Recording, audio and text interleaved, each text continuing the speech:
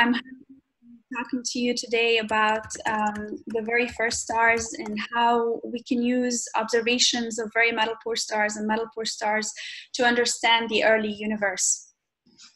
So I'm going to start with a bit of introduction, even though maybe many of the audience members will already know this. Um, in order for us to, when we say first stars and we, when we say origins, we need to go back to the beginning, all the way back to the Big Bang.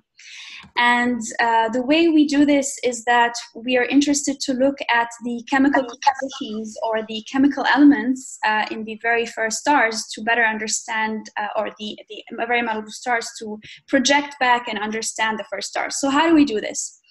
Our understanding uh, currently is that uh, right after the Big Bang, a few seconds after the Big Bang, uh, the universe was made mainly from hydrogen and helium with little bits of uh, hints of lithium, beryllium, and boron.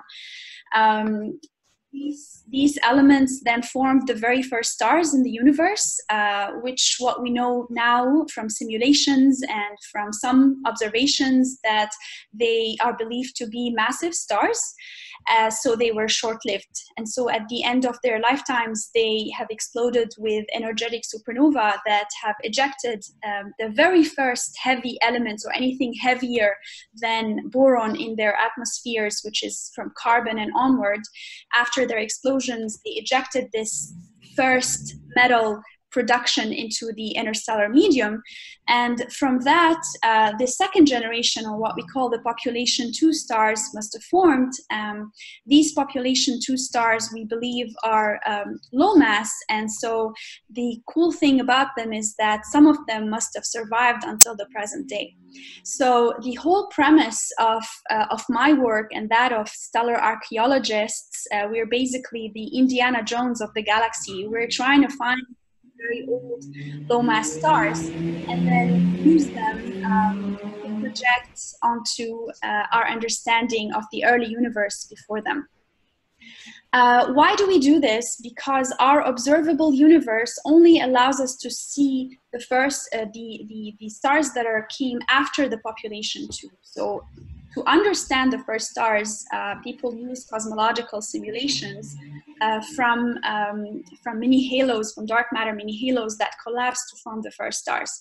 And I'm showing here a, a video of these simulations that was done by Brendan Griffen, uh, a former postdoc at MIT in the group of, of Anna Frebel, um, who tried, along with others, who tried to um, um simulate the very formation of the very first stars. And you can see here uh, in yellow and red the formation of a Milky Way like galaxies from the hierarchical collapse of um, halos. And um, we believe that the very first stars must have formed in these mini halos. So what we learned from these simulations uh, and others is that the properties of the first stars that are relevant to the star are the following. First, that they must have as I said, they must have formed in dark matter mini halos. They were very massive. They ranged between 10 to 100 times the solar mass. However, it's kind of difficult to place a very, uh, very strict constraint on the masses, and I will talk about this later throughout this talk. Uh, they were short-lived um, because they were massive, and so they are no longer around, and they must have exploded with energy. So this is what the simulations tell us. But if we really want to place observational constraints on the properties of the first stars, we have to go back to the observable universe. And what this provides us is these uh, very cool objects, the low mass population two stars, as I said, that are still around, some of which are still around in the Milky Way halo. And we use observations of these low mass stars uh, to then trace back using stellar archaeology to infer properties about the first stars, and this is what I will be talking about next. Uh, these population two stars, however, are not very easy to find. They are tricky little things. Uh, they are mainly found in the Milky Way halo uh, and are too faint whenever we find them. We need lots of time on, on large telescopes to be able to follow them back and find them with high resolution uh, spectroscopy. Um, however, uh, we usually go through multiple different steps to, in order to identify the oldest population two stars. Um, the easiest way is that low resolution spectroscopy, which is more common or more or less expensive than high resolution follow up spectroscopy, allows us to identify the calcium H and K line, which is very strong enough, even found in the spectra of these population two stars that usually rarely have any elements in them because the cosmos did not have enough time to produce many elements. So the calcium line is usually strong, and we use this, we use some kind of calibration to actually project the kind of calibrate the first estimate of what we call metallicity or iron content in the stars uh, inferred from the calcium lines. And whenever we find a star or stars that are interesting enough, that have um, that we think are belong to this population two uh, population, so very low metallicity, we then go to the big telescopes in order to follow them up and observe more interesting elements and more.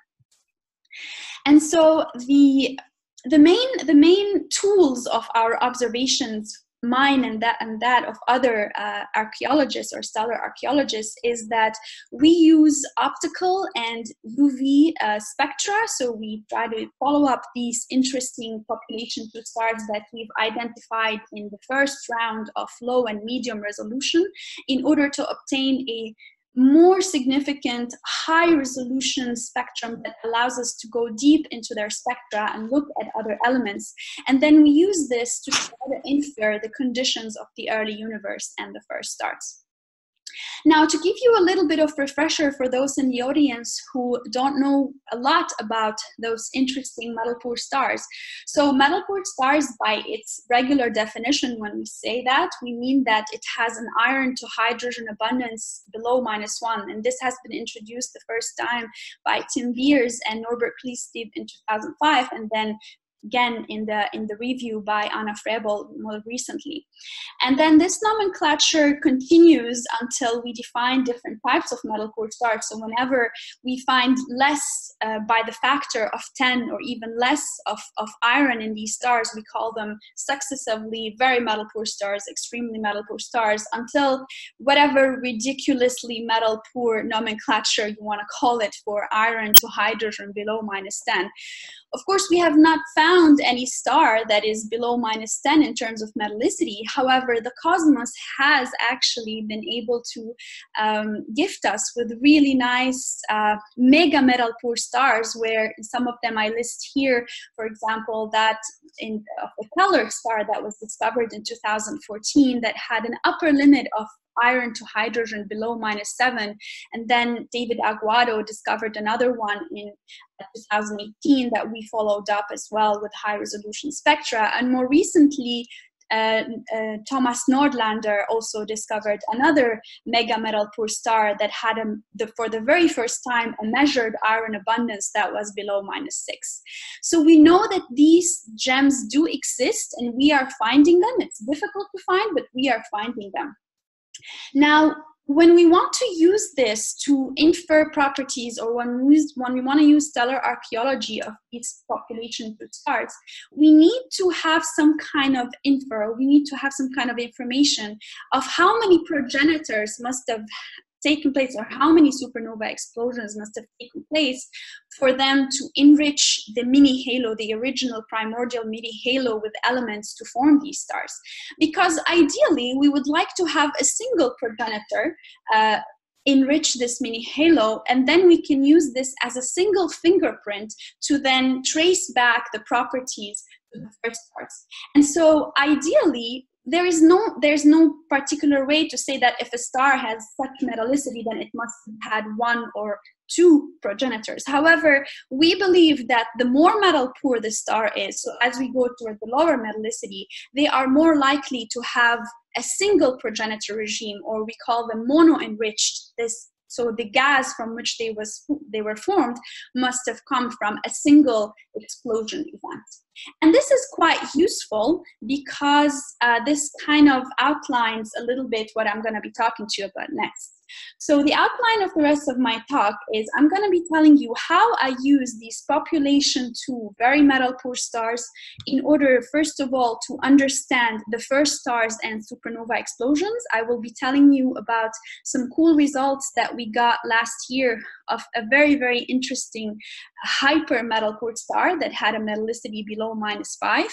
I'm also going to be telling you how I use these metal poor stars to turn on my theory brain, which is what I do uh, in order to determine stellar um, um, stellar abundances or precision abundances of these interesting metal poor stars and what they allow us to learn about stellar physics. And then finally, I will give you also some updates about how we use these metal poor stars to infer or to understand the heavy element production uh, with the R process uh, and some of the work that we have been doing in the R process alliance. So I'm going to start with our understanding or the first stars and supernova explosions.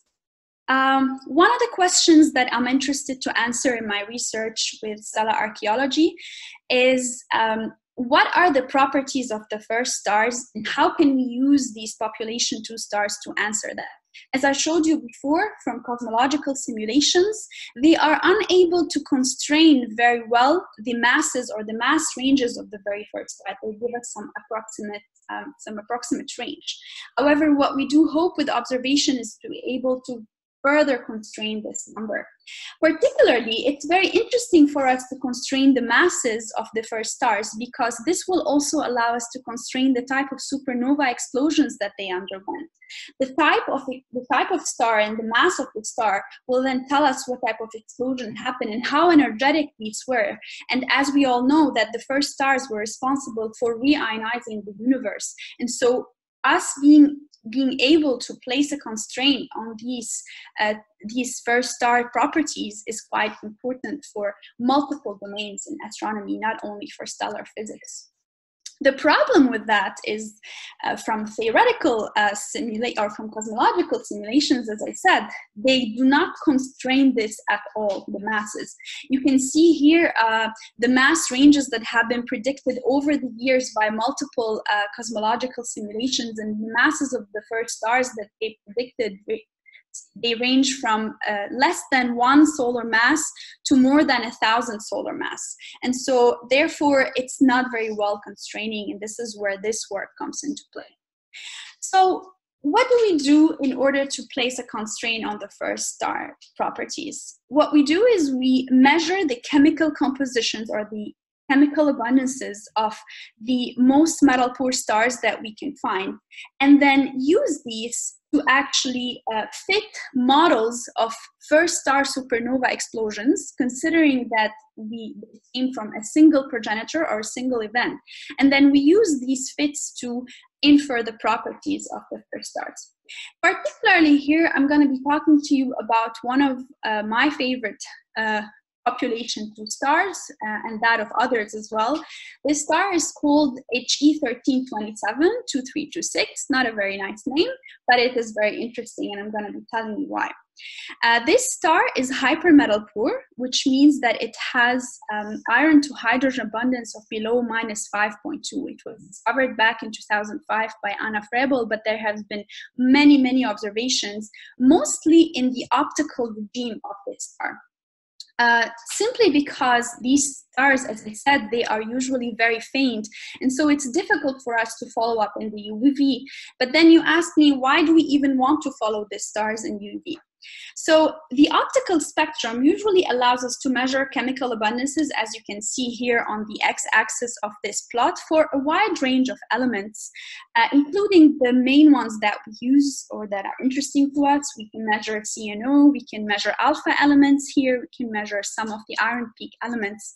However, as we go toward the heavier elements around iron, for example, for um, for zinc, for nickel, we don't really have any measurements possible in the optical spectrum.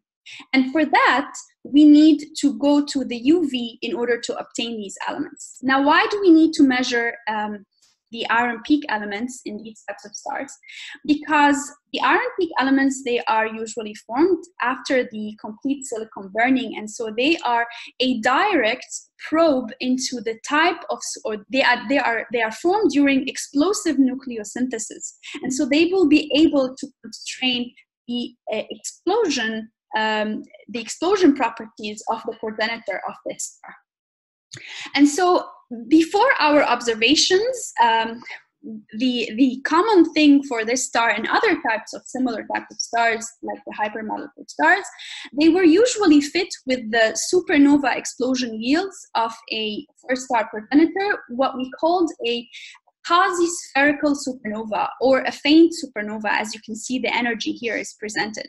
And this this supernova um, yield usually fit most of the elements found in this and other type stars fairly okay especially that of the CNO and then the alpha elements. However when we go toward the iron peak elements you can see that this these types of models do not really constrain very much this, the, the chemical elements in, in this region.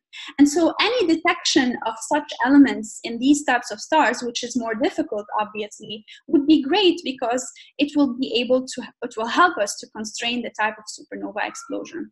And so in 2016, we were able to obtain COS UV spectra for um, for this star.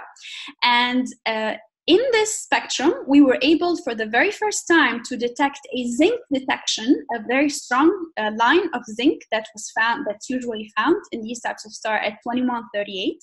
But what was interesting is that this zinc abundance that we measured relative to iron was very enhanced. It was 0.8. And this is not new. In fact, uh, we have known for quite some time right now that it was uh, quite puzzling. Why do metal poor stars, as we go toward lower metallicity, the zinc is always uh, constantly enhanced?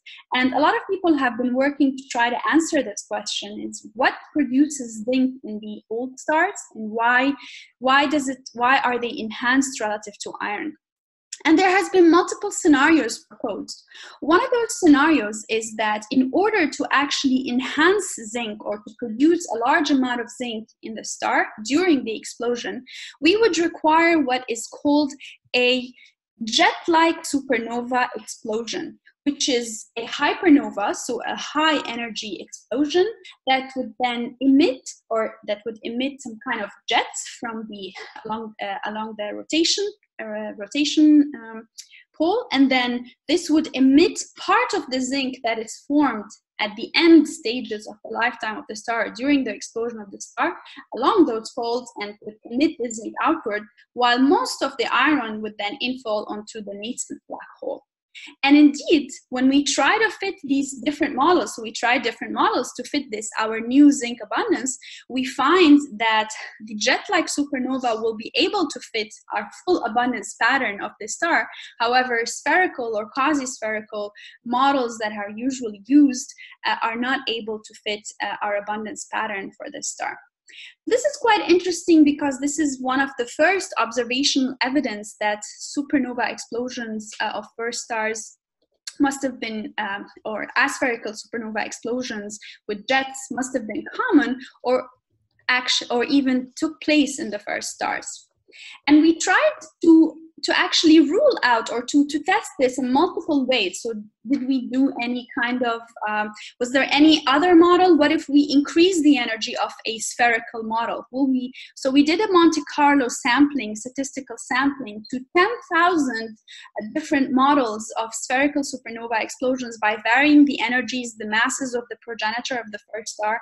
Um, and we fit this to a large sample of also variations of our abundance pattern of, of HE 1327 within the uncertainties. As you can see here, no matter how much we change the energy or the mass of the supernova or the, of the first star, we are still unable to produce this large amount of zinc that we observe in this star. This is quite an interesting evidence that an aspherical supernova explosion could actually take place in the first star. Um, and so I've already explained this that um, this is what we the model that we did. I'm happy to talk about it later in the questions or if you want to afterwards. So the model that we used is a 2d model. Unfortunately there are no 3d models for a first star progenitor currently successful but hopefully many people are working on this and we're excited to do that but currently the model that we use is that by um, nozomu tominaga and uh, kenichi nomoto from japan who simulated uh, this, this jet-like supernova explosion. And here I show you um, how these ejection of, of, of, zinc along the poles take place in order to enrich the iron, the gas from which we believe our star HE1327 uh, must have formed. Now, why is this exciting, or what is the impl implication of uh, a jet-like supernova taking place in the early universe? One of the things is that, as many of you know, and those who work in stellar archaeology of first stars know, or population food stars know, that we have quite a wide range or a large scatter of the abundances that we see in these types of stars. What I mean is that we have a very, very wide uh, abundances that are measured, especially we see this in carbon. So you must have heard this term before, carbon enhanced metal poor stars, and others some of these metal uh, population food stars do not show this enhancement in carbon. And people have been working for a long time to try to address why do we see these two distinct populations of stars one with carbon enhancement and the other with not. And some people suggested that maybe there was some kind of scenario of inhomogeneous mixing in the in the early um, gas from which these stars were formed. But recent um, simulations have also indicated that what if we actually have different formation scenarios or different channels of enrichment in the early universe that could have formed the stars. What I mean is that, as I showed before, the first stars must have formed in different mini halos, and these mini halos we assume are primordial. So, if we do have an aspherical jet like supernova, what if these jets could actually eject the material of the first star into a neighboring mini halo? And therefore, we have what we call an ex situ enrichment or an ex situ formation of star. What if we actually do have two types of formation, and this could maybe explain the presence of carbon enhanced metal poor stars and non-carbon enhanced metal poor stars. This is all quite exciting and we actually suggested this in our work, but we are also excited for people doing cosmological simulations and I think already some people have started looking into this, of the possibility of this happening. Uh, but at least we can show now that we do have um, an, obs uh, an, observational evidence of, of these types of explosions or energetic explosions taking place in the early universe. So I've already talked about this. So this is all in the ex situ uh, scenario enrichment that we would like to further explore. And we also encourage people who would like to further explore. Um, so this is my results uh, and our results that I wanted to touch on uh, in regard to the first stars and supernova explosions, which was quite exciting. But now I'd like to switch gears and talk a little bit about how I personally also like to use uh, the population two stars and very metal poor stars to understand stellar physics. Now, um, why do you, why is this important? And why and everybody or some some of you must be saying oh well we know everything there is to stellar physics. We actually don't. Let me tell you why. So we always you always hear astronomers or observers talking about abundances. And abundances is not a measured property. It is a modeled property. Because underlying our abundance measurements are uh, complicated radiative transfer codes that go in the background assume multiple approximations to make things easy. So some of these approximations I list here, I'm not gonna go through all of them, but mostly how do we divide our stellar atmospheres from plane parallel to spherical, the homogeneity, etc., 1D or 3D atmospheres. But one of the most commonly used assumption is called or assuming local thermodynamic equilibrium. And this is when we assume that the matter inside the star is in equilibrium with the radiation field when we look at it locally, which means that it simplifies things for us in the sense that we assume that the properties of the gas inside of star can be defined by a single temperature at each depth or a single pressure. And so we just use an input model atmosphere into our radiative transfer code, and this will solve things for us easily. However, we this does not hold this lte condition or local thermodynamic does not hold in all types of stars because as you can imagine we need a lot of matter in the place where we where this with this equilibrium must be induced so for example in the atmospheres of giants or, or supergiants but even metal poor stars where we have a paucity of matter the lte assumption does not hold very well. And so therefore we need to actually assume a full a full case of non-local thermodynamic equilibrium in the star to be able to determine accurate abundances. And non-LTE assumes the opposite of LTE, where every photon in the atmosphere that is that occupies an energy level of an of an element that is interesting to us that we're measuring its abundance, we we have to assume that this photon carries non-local information and it depends on everything. So we have to account for all the radiative and collisional excitations that take place in the atmosphere of the star. So to give you a little bit more insight into this, in LTE, when we want to determine the abundance of a single line or a single transition, all we have to know is the information of the lower and upper energy, and then this gives us the abundance of its element or this line. However, in non-LTE, if we want to do this for a single line, we have to take into account all transitions that could possibly populate uh, or that could lead to the formation of this line, as I show in this Grotrian diagram of energy versus energy levels of a single iron, um, neutral iron model atom.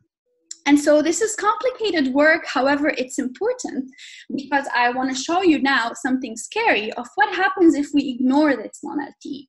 So one way that we um, quantify the departure from LTE is by using a departure coefficient, which is the ratio of the level population density in non-LTE over LTE. And I show it here as a function of uh, op optical depth inside the atmosphere of the star on the x-axis. And so as we go toward lower, um, as we go toward um, lower values for optical depth, we are going outside in the atmosphere of the star. And you, the line forming region is usually between minus three and minus two. And you can see that for metal poor stars, I'm showing here three stars.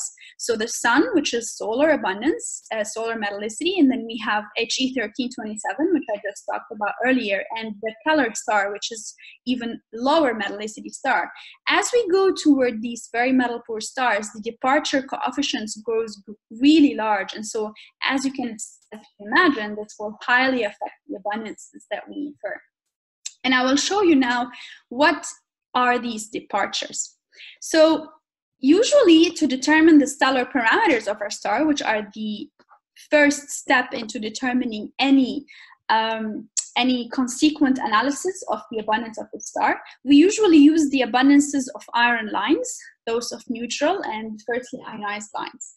And here I show the departure coefficients, or apologies, I show the difference between the non-LTE and LTE stellar parameters that we've done over 20 standard metal poor stars and so you can see as a function of metallicity. So the bluer color are more metal poor stars, the lighter color like yellow is, is more metal rich. And you can see that the differences in these stellar parameters when we ignore LTE can reach up to 500 Kelvin in temperature, up to one dex in gravity, uh, microturbulent velocity, which is also an important fudge factor that we use, can also have large effects. And the metallicity can grow in, in terms of corrections, can grow up to 0.4 dex. And these are all larger than the typical um, uncertainties or error bars that I show here in red. And so these departures have, be, have to be taken into account in non-LTE for these types of stars. But what if we keep decreasing the metallicity? So this this metallicity here stops at minus 3.5. But what what for what about our hypermetal poor stars or those population food stars that I talked about earlier? Does the correction stop there? Unfortunately, it doesn't. As we go toward lower metallicity stars, the correction between non-LT and LT or the departures become even larger can get to even to up to one dex, uh, for example, for the most metal poor star that we know around minus seven.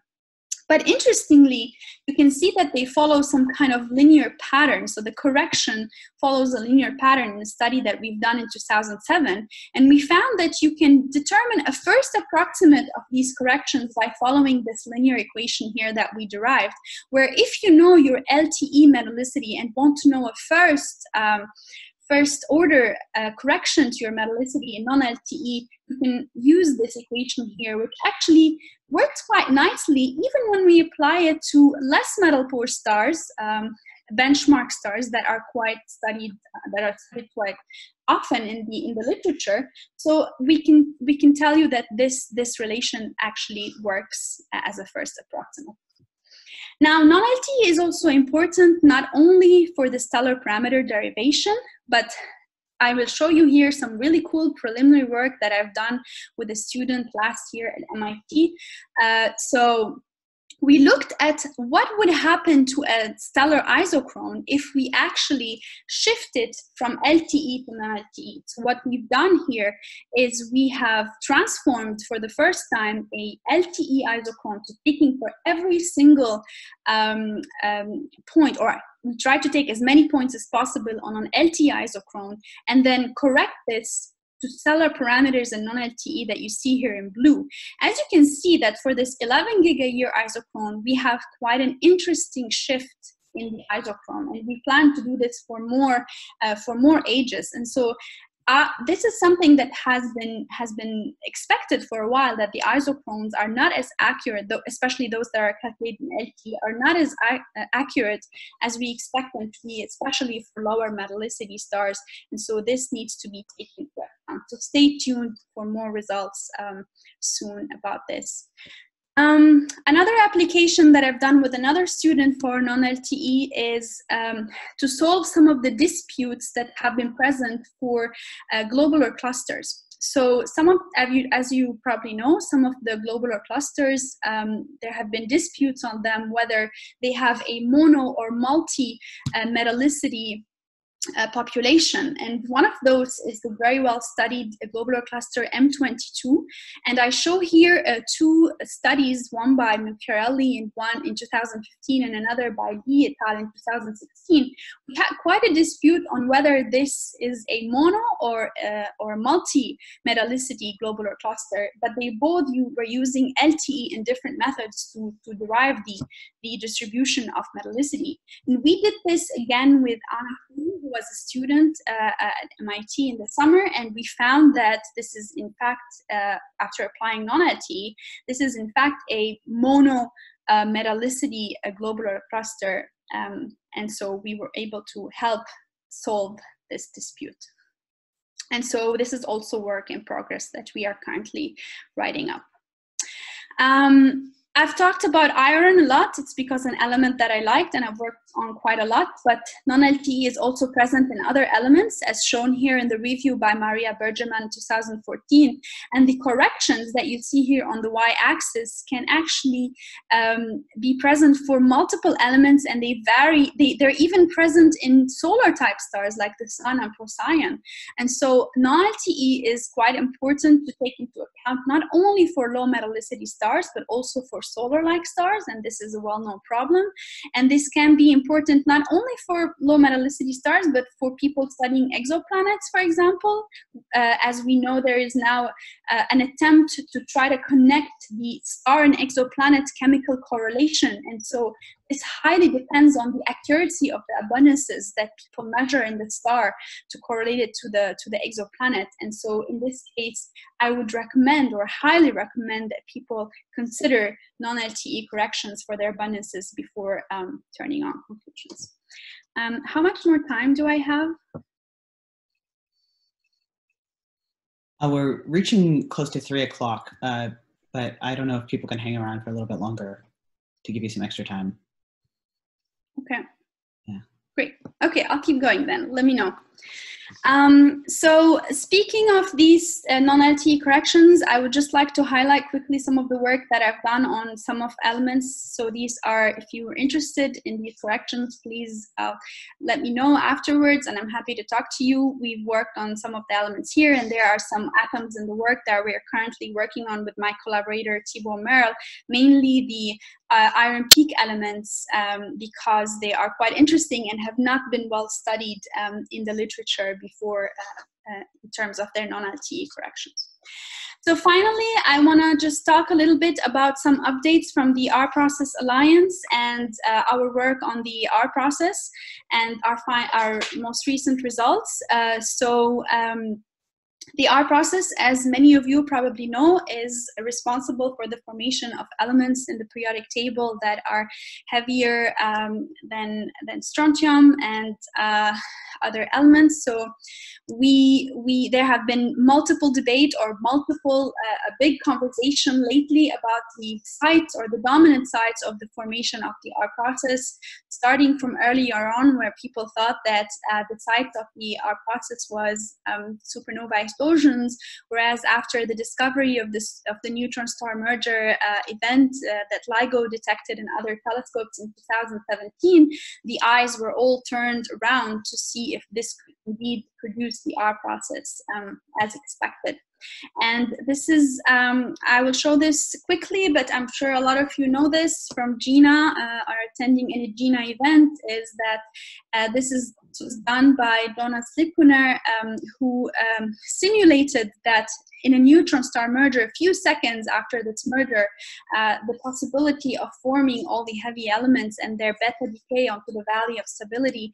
And indeed, um, uh, it was pretty exciting to see this in 2017 uh, that we were able to see a kilonova associated with the R process um, taking place.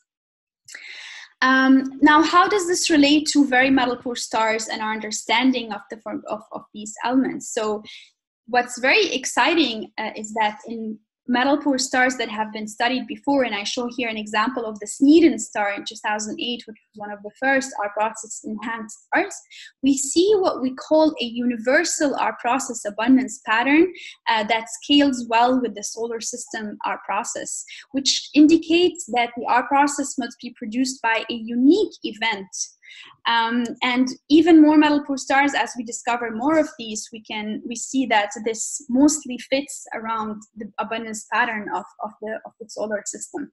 But we still have a lot of questions that we want to answer about the R process, even if we have been able to answer one of the questions of the sites in terms of the neutron star merger event, we still have many questions on to what produces all the peaks or the different peaks. We still see some variation in the first peak, for example, of the R process. And so we also want to learn more about the theoretical and experimental constraints on the R process, which still have many open questions.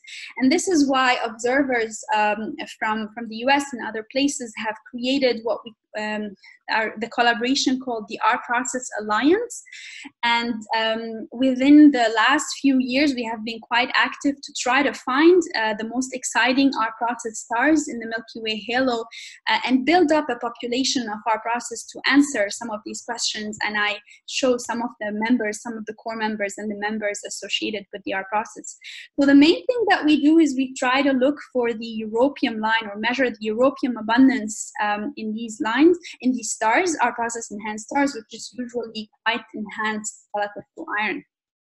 Now, why, why, what, what, what is the significance of this work that we've done in the R Process Alliance? This is a very uh, focused work that we are vetting thousands of targets from uh, multiple catalogs, including RAVE, LAMOST, SkyMapper, and then following them up with telescopes from all over the world, uh, continuously getting as much time as we can on the telescope to identify more of these R process uh, stars. And our target is to reach um, about 100 or more highly enhanced R process stars, which have a europium over iron, as you can see here, more than one, in addition, that we call R2 stars, in addition to other less enhanced stars uh, we call the R1.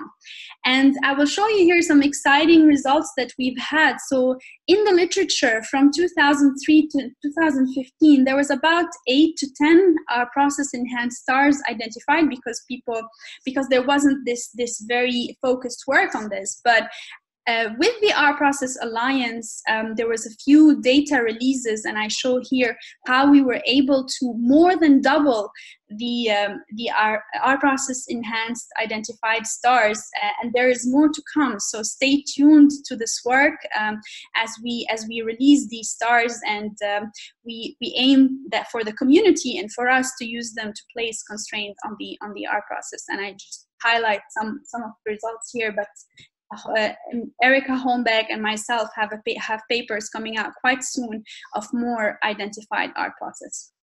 And here I will just go quickly over this. So I'm sure you all know this.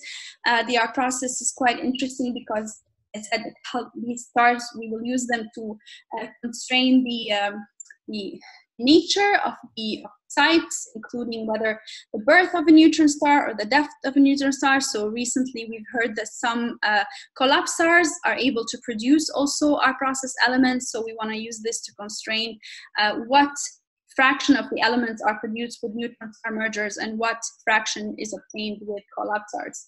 So uh, I will skip over this because I've already mentioned it. Gonna just go to my uh, takeaway points.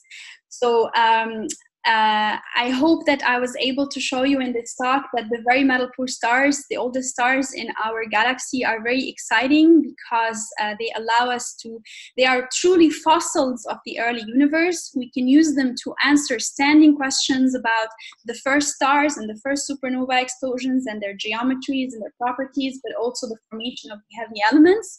We can also use them to constrain the models of stellar astrophysics using non-LTE radiative transfer codes. And what we need to do is keep digging for more uh, stars. Thank you very much for listening, and I'm happy to take any questions. Thank you for the presentation. These are really, really interesting and exciting results. Um, we have some time for questions. I know we're running a little behind, but if everyone could stay tuned, um, feel free to jump in with questions, uh, type them in the chat, or raise your hand, uh, and we'll make sure your questions get answered.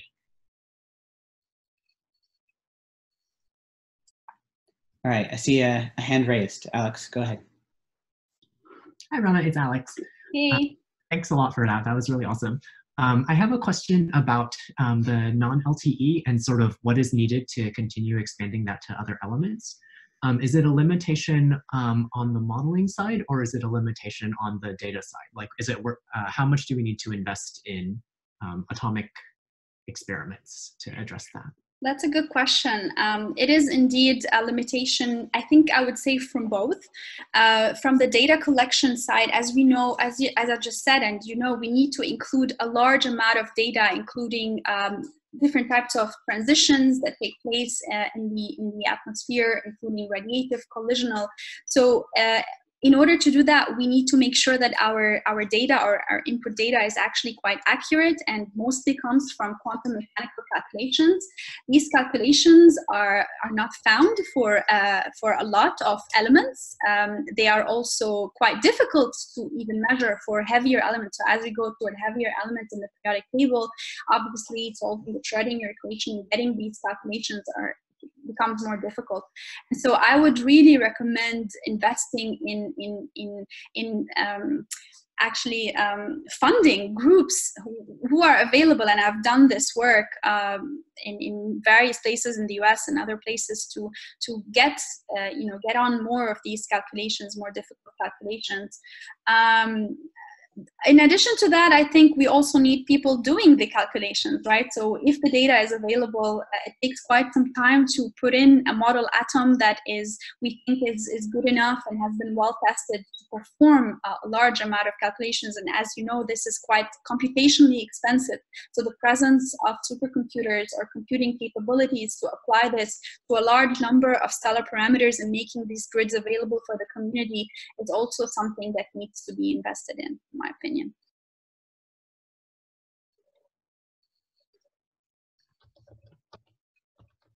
Other questions?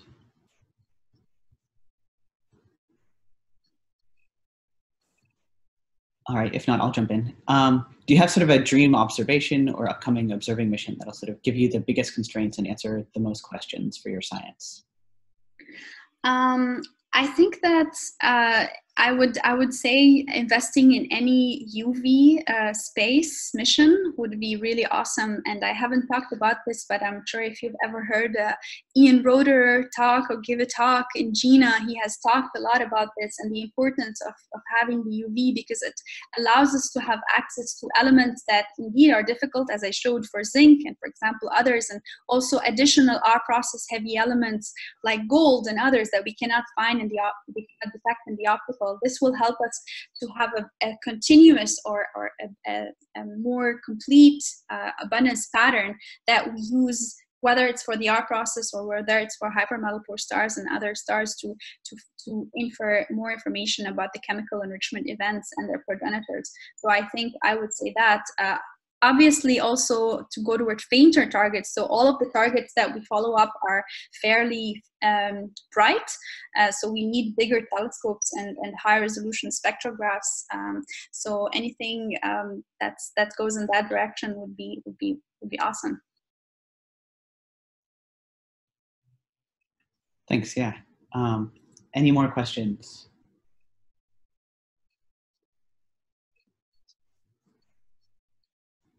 I'm not seeing any. There's one uh, oh, feel free to jump in. Yeah. Go ahead. Yeah. Will the James Webb um, telescope um, add more data that uh, will help uh, with the models? What we believe is that the, or my understanding is that the James Webb will be able to look at the first population of, of first stars rather than individual stars. Uh, plus, uh, the infrared is not um, is not really it doesn't contain a lot of uh, elements or a lot of lines that that are of interest to us so far. Uh, so I think that it will definitely help us understand the conditions of the early universe, the conditions of the first population of stars, but I don't think it will be giving us direct uh, first data that we can use uh, using stellar archaeology. Thanks.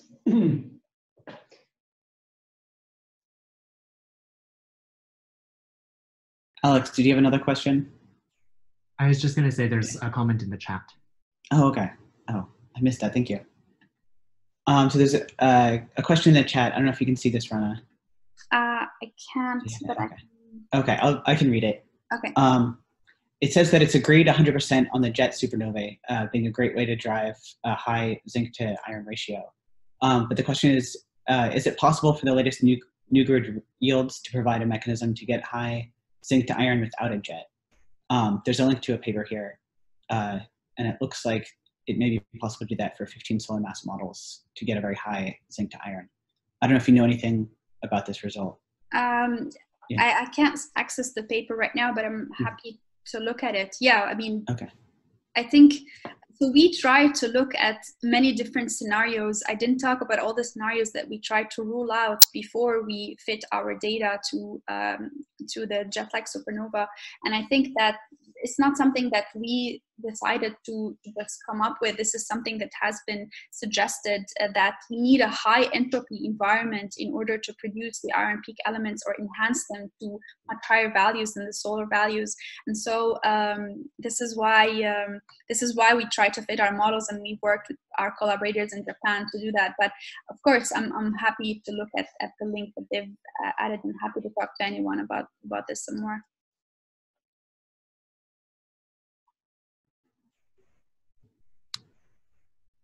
Any final questions?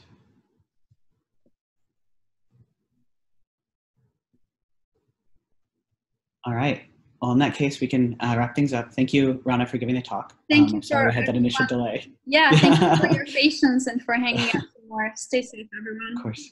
Yeah, take care, everyone. Um, we'll have another seminar in about two weeks. Uh, so hopefully we'll see you all then.